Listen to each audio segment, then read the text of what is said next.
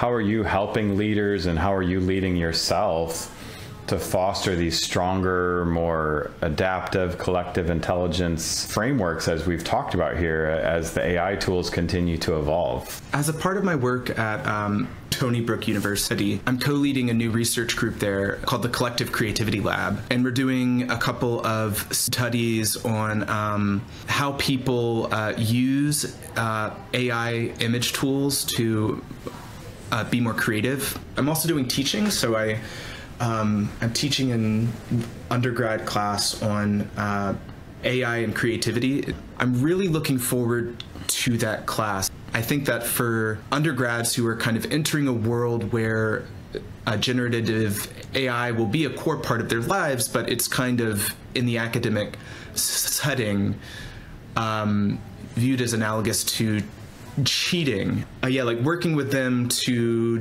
develop the skills to use them in in ethical, responsible, interesting, creative ways will be a lot of fun.